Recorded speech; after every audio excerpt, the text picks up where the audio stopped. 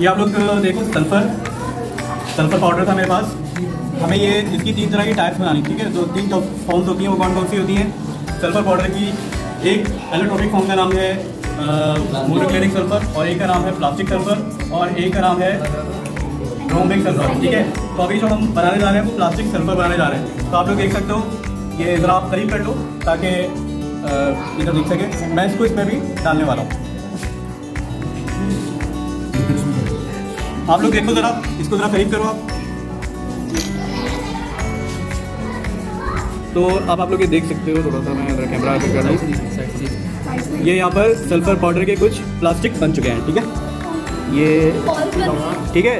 तो अब इसको जो है, आप लोग चाहो तो फ़िल्टर पेपर पे निकाल कर देख सकते हो। कर सकते हो इसको डायरेक्ट भी निकाल सकते हो हाँ, हाँ डाल दे। पक्का? तो